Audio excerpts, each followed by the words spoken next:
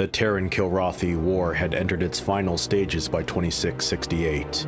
The Terran Confederation Navy had lost up to a third of its active carriers over the course of three months, and over half the entire fleet in nine. The warriors of the Kilrathi Empire were fully aware of their new advantage, and had begun fighting even more viciously against an already beleaguered confederation. The situation was grim for humanity. They did not have the means to replace their losses quickly enough to keep them in the war indefinitely.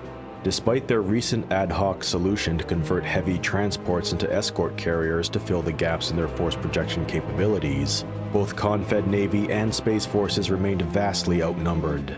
If something did not change soon for the Terran Confederation, the subjugation of humanity was all but certain. No one understood this more than Admiral Bainbridge. He, along with the rest of the Confed Admiralty, were desperately searching for a solution to reverse the fortunes of war,